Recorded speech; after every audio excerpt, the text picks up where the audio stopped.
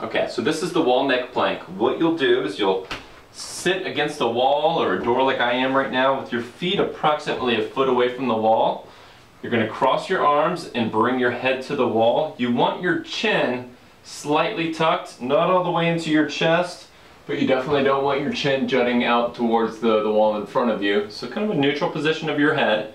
What you're going to do is push your head back into the wall and subsequently lift your butt and your shoulders away from the wall. And then you're just going to hold this position for approximately a minute or if I've given you longer lengths of time to hold then you can do that as well. Notice how when I came back down that I came back to the wall. What I do not want you to do, it. I'll do it here, but I don't want you doing that to come off the wall. That puts a heck of a lot of shear stress through your neck um, and might make your neck even worse if you do that. So try to avoid that, sit back to the wall, then step away from the wall when you're done with the exercise. Couple things that people do wrong with this. Number one, a lot of people will go way too chin to chest and they don't bring the base of their neck away from the wall. We want to basically mimic really, really good posture when you're doing this exercise, but you are tipped back about 10 to 15 degrees.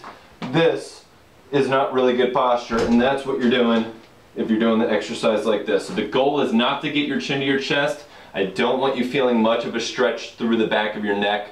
Um, you really shouldn't feel a ton, to be honest with you, when you do this exercise. One other thing that people will do wrong is they will really hyperextend their back. So the butt kind of gets stuck behind and now my back's in a lot of hyperextension. I've had way too many patients come in and tell me that their back hurts when they do this exercise. So if you have a tendency to do this, tuck your butt underneath you. Um, kind of picture like a dog that gets yelled at. You're bringing your tail into that, you know, dog that just got yelled at position when you do it. Um, so those are the two big things to look out for.